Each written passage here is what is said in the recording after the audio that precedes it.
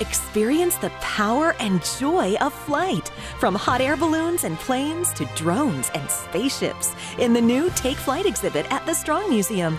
Learn the history of flight based toys with hands on activities at a variety of stations for the littlest pilots and biggest aviation admirers. And explore the diverse group of women and men that took flying to new heights. Take Flight opens February 6th.